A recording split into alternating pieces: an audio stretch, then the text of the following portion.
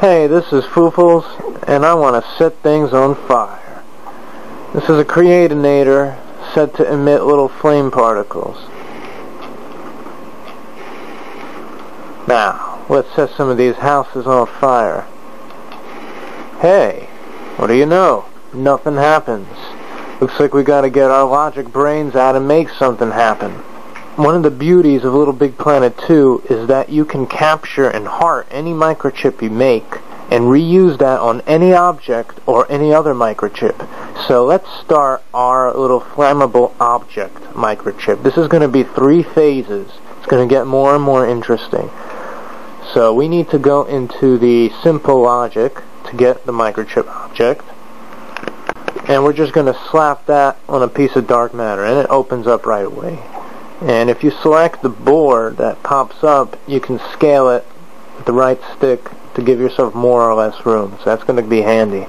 For now, it's going to be very simple. So by the end of this tutorial, you'll have objects that you can burn to the ground or save if you don't want them to. So first, let's get them to be on fire in the first place.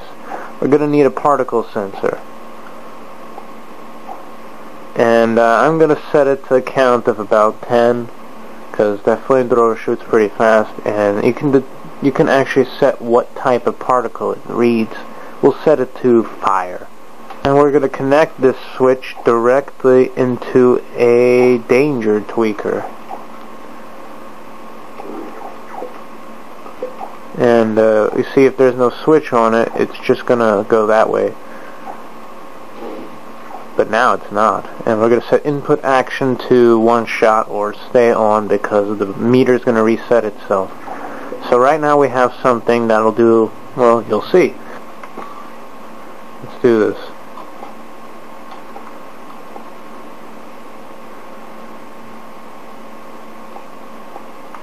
And even this little thing here. Okay, so now let's see what happens.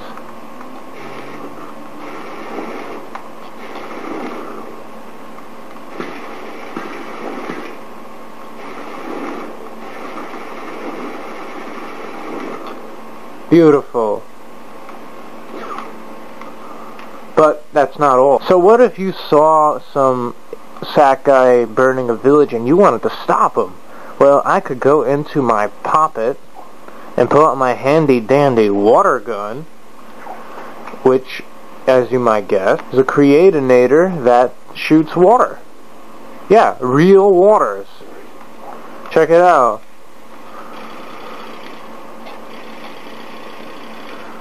Okay, so that's great, but let's see what we can do with that.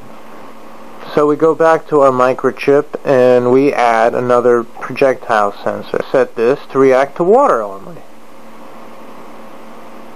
Okay, so we'll connect that to a danger tweaker set to non-lethal. Yeah, you can do that. And again, it's going to be set to stay on and we'll just slap that on everything.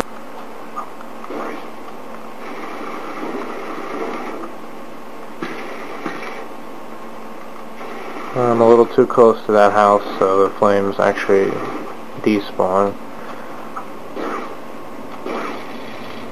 And you see that they can be healed. That's great and all, but something's missing you know, what if if they were on fire for enough time that they would actually burn away, that they would disappear.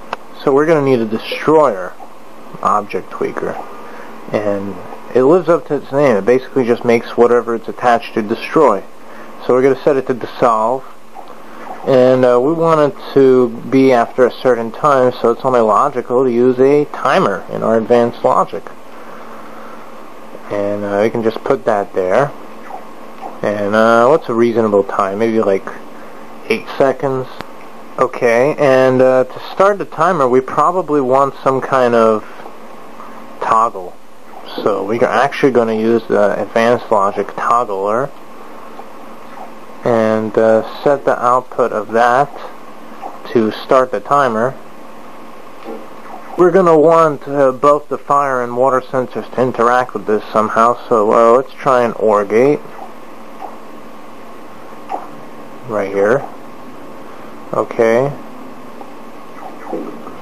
And we'll connect that to the toggle switch. And uh, the only thing is we want the fire to turn it on if it's not on. And we want the water to turn it off if it's on. So we're going to need a couple AND gates.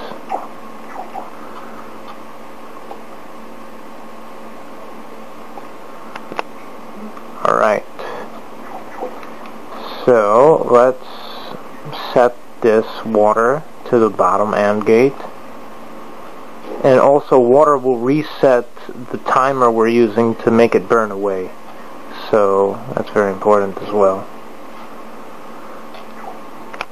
And the fire sensor will feed uh, this AND gate up here. And since we want the fire to turn it on, if it's not on, we're, we're going to have to use a NOT gate. And uh, so if not toggled,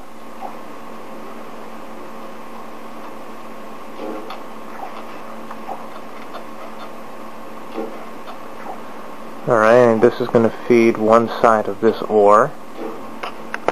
And this toggle is going to directly feed this AND gate because we want if on and water sensor hit, boom. And we're going to have to tweak this timer to make sure the current count is zero. And we're going to set its output to the destroyer and connect this AND combination from the water switch to our OR toggle. And just for good measure, let's put a little sound when it uh, disappears. Let's go into the destruction category and choose on destruction and this. I think this sounds like something like burning away. Alright. So that'll be here. So let's see this all in action. If I leave it alone, it should all just burn away.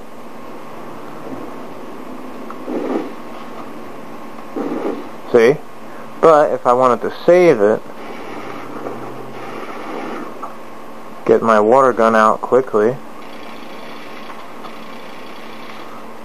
and since those sensors reset, you know, we can just, you know, pretend we're a, an evil man and now we're the good guy.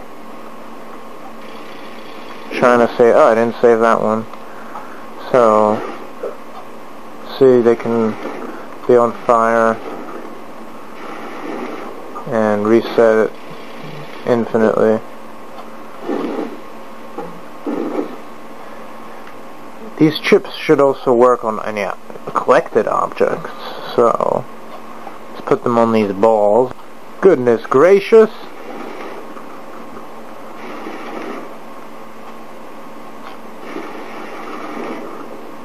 and disappear. So this is Foofles, and I hope you enjoyed this tutorial and have fun setting out some stuff on fire. Oh no! And I'll see what you can do for the forces of good or evil in Little Big Planet 2. Bye-bye.